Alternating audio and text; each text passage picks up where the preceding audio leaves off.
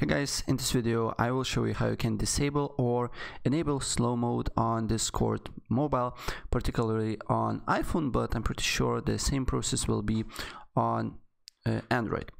Alright, so first what you need to do here is of course to open your Discord app and then press on three uh, horizontal lines that is on the top right to choose your channel and choose your server and the text channel that you want to uh, basically enable or disable slow mode and then uh, long press on the text channel that you want to edit.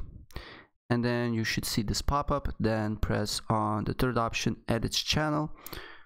And here uh, you can do a bunch of different things but on the bottom as you can see here there is slow mode cooldown.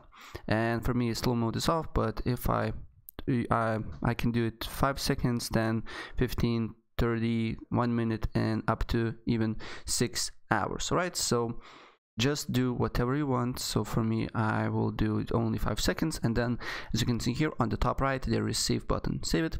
And you will apply cooldown on your text channel. All right. So yeah that's pretty much it. If i help you out please press like button and subscribe for more. Take care. Bye